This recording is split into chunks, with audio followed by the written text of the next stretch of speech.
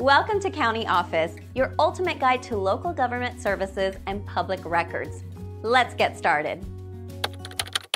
What are FHA loans? NFHA loans are mortgages insured by the Federal Housing Administration, allowing borrowers to qualify for home loans with lower down payments. These loans are popular among first time homebuyers due to their more lenient credit score requirements. They also offer competitive interest rates and flexible qualification criteria.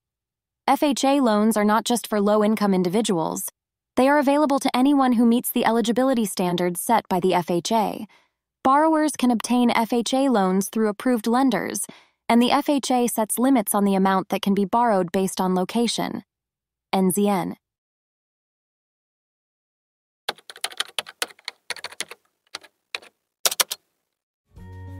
To learn more, check out these links, which you can click in the description below. And feel free to comment your questions. We're here to help.